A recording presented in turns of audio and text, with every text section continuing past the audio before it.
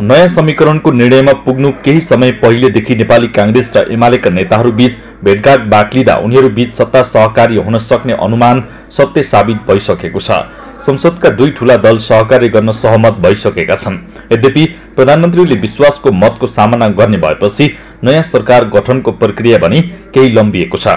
गत सोमबार मध्यराति भएको समझदारीमा पुग्न काङ्ग्रेस सभापति देउवा र एमाले अध्यक्ष ओली आफैले सक्रियता देखाएकाले धेरै कुराहरू पहिले जस्तो बाहिर देखिने गरी नआएको भए पनि छलफल भने लामै समयदेखि जारी थियो।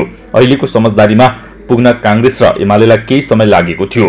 सहमति सार्वजनिक हुँदा अप्रत्याशित जस्तो देखिएको भए पनि यसका लागि लामै समय छलफल चलेको थियो। दुवै दलका नेताहरूले अहिलेकी ढङ्गले राजनीति गर्दा आगामी चुनावसम्ममा आफ्नै शक्ति कमजोर बन्न सक्ने तथा मूलधारका दलहरूको स्थान नयाँ दलले लिन सक्ने ठान्न थालेकाले पनि यो समझदारी बनेको कतिपय राजनीतिका पण्डितहरूको बुझाइ छ।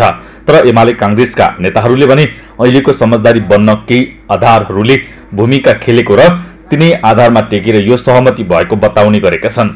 नेताहरूले अहिलेको सहकारी विशुद्ध सत्ता साझेदारी मात्र नभएर समझदारी हुनुमा केही आधार रहेको र त्यसैलाई पूरा गर्न आफूहरू एक ठाउँमा उभिएको बताउने गरेका छन्।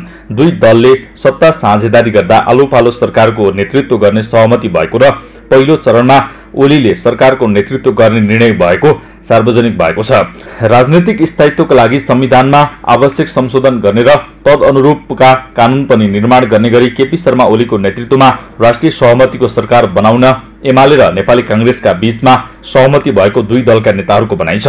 बाहिर सार्वजनिक रूपमा भनिएका केही भनाइ र प्रधानमन्त्री दाहालको कार्यशैलीकै कारण अहिलेको सहमति भएको स्पष्ट हुन्छ।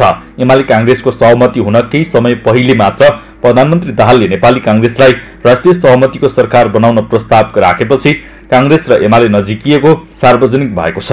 दुवै दलका नेताहरूले फरक ढङ्गले आफ्ना विषयवस्तु प्रस्तुत गरे पनि अहिलेको सहमतिका आधार भन्दै उनीहरूले गरेका तर्क लगभग उस्तै उस्तै छन्।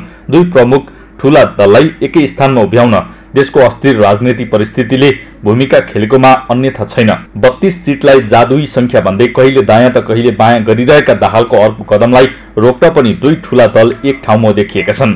सन्धि जसो उथल पुथलमा माहिर देखिएका दाहाल यसपटक भने दुई ठूला दल एक ठाउँमा उभिएर उनी दाहाललाई जिल्लाइदिएका छन्।